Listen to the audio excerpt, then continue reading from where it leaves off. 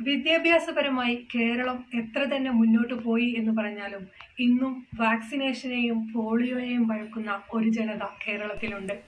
വർഷങ്ങൾക്ക് മുൻപ് നമ്മുടെ നാട്ടിൽ ഒരു പ്രദേശത്തെ ഒട്ടാകെ തുടച്ചുമാറ്റുന്ന രീതിയിൽ വസൂരി പോലുള്ള രോഗങ്ങൾ വന്നതൊക്കെ കഥകളിൽ വായിച്ച് നമുക്കറിയാം. പോളിയോ ഡിഫ്തീരിയ അഥവാ തൊണ്ടമുള്ള ടെറ്റനസ് അഥവാ കുതിരസന്നി എന്നീ രോഗങ്ങളൊക്കെ പണ്ട് കാലത്ത് കുട്ടികൾക്ക് സർവസാധാരണയായി കണ്ടിരുന്നു.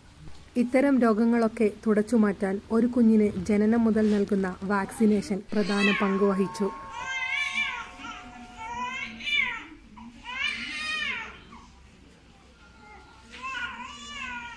പോളിയോ കൊടുക്കൽ നമ്മളെ കുട്ടികൾക്ക് പോളിയോ കൊടുക്കൽ നിർബന്ധമാണ്. ഇപ്പോൾ പോളിയോന്റെ ഒരു ഇമ്പോർട്ടൻസ് നമ്മൾ ന്യൂസിലൊക്കെ ഇങ്ങനെ വായിക്കുന്നുണ്ട്. പോളിയോന്റെ മാത്രമല്ല ബി സി ജിന്റെതൊക്കെ നമ്മളെ ഇപ്പോൾ ന്യൂസിലൊക്കെ ഇങ്ങനെ കാണുന്നുണ്ട് ഇന്ത്യയിൽ ബി സി ജി കൊടുക്കുന്നതായതുകൊണ്ട് കുറച്ചുകൂടി ഒരു ഇമ്മ്യൂണിറ്റി ഇതുണ്ട്. അപ്പോൾ പുറത്തുള്ള രാജ്യങ്ങളൊക്കെ അതിന്റെ ഇമ്പോർട്ടൻസ് മനസ്സിലാക്കിയിട്ട് തിരിച്ചു കൊണ്ടുവരാൻ നോക്കുന്നുണ്ട്. അപ്പോൾ കൊറോണ കാലമാണെന്ന് വിചാരിച്ചിട്ട് പോളിയോ കൊടുക്കാണ്ടിരിക്കാൻ നിൽക്കരുത് എല്ലാവരും കുട്ടികളെ കുറച്ച് സേഫ്റ്റി മെഷേഴ്സ് ഒക്കെ എടുത്തിട്ട് നിർബന്ധമായിട്ടും എല്ലാ ഡോസ് പോളിയോയും കൊടുക്കണം.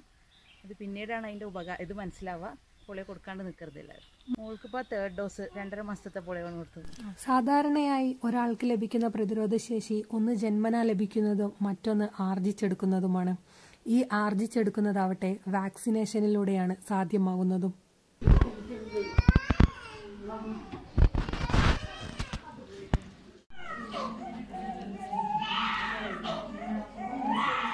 എല്ലാവരും കുഞ്ഞുങ്ങൾക്ക് പോളിയോ കൊടുക്കാൻ പ്രത്യേകം ശ്രദ്ധിക്കണം. കൊറോണ കാലത്തിന്റെ ഒഴിവു കഴിവുകൾ പറഞ്ഞ് നമ്മൾ അതിൽ നിന്നും മാറി നിൽക്കരുത്. നമ്മുടെ ഗവൺമെന്റ് ആശുപത്രികളെല്ലാം തന്നെ അതിനുവേണ്ട സജ്ജീകരണങ്ങൾ ഇന്ന് ആശുപത്രികളിൽ ഒരുക്കുന്നുണ്ട്. ഏറ്റവും സുരക്ഷിതത്വത്തോടു കൂടി തന്നെ നമ്മുടെ കുഞ്ഞുങ്ങൾക്ക് അവർ പോളിയോകൾ നൽകുന്നുണ്ട്. നമുക്കും അതിന്റെ കൂടെ നിൽക്കാം. നല്ല നാളേക്കായി നമ്മുടെ കുഞ്ഞുങ്ങൾക്കായി.